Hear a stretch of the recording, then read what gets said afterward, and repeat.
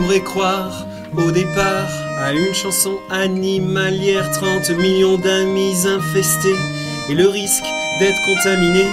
Mais pour les chiens, c'est féminin. Ce dont je parle sont masculins, intégrés dans notre quotidien tic, langagier que je vais décliner. Grave mortel, tout à fait, hein, c'est clair. Pour agrémenter le genre de truc. Hallucinant. En fait, les gars, On perd le fil des discussions tant on se sert de ces expressions. On se veut gentil, sympa, à l'écoute, mais on oublie tout sans aucun doute.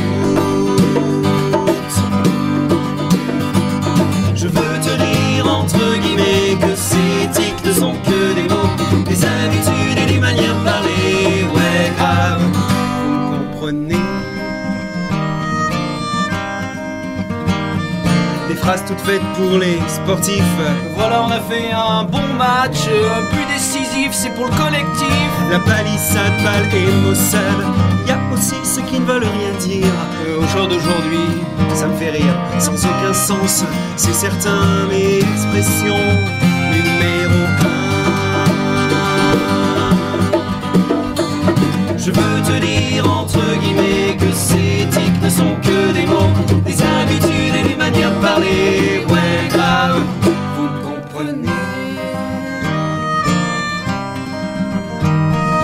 Je repense aux fameux je gère ces politiques devraient se taire. Ils nous ont mis au fond du trou, gouvernement du rien du tout. Ces hommes et ces femmes de banlieue inventent un peu comme leurs mots pieux des Wesh grave, j'kiffe ta meuf. C'est notre gagelant dans le 3 Je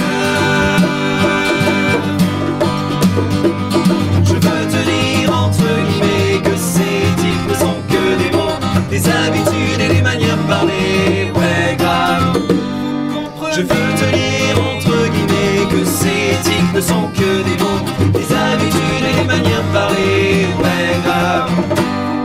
Je veux te dire entre guillemets que ces tics ne sont que des mots, des habitudes et des manières de parler. Ouais, grave.